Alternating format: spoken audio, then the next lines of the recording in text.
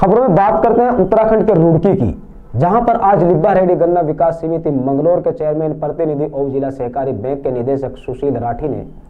समिति के सचिव जय सिंह संचालक के साथ उत्तम शुगर मिल लिब्बा रेड्डी गन्ने के परिसर का निरीक्षण किया। इस अवसर पर उन्होंने परिसर व कैंटीन में फैली गंदगी पर नाराज़गी व्यक्त की।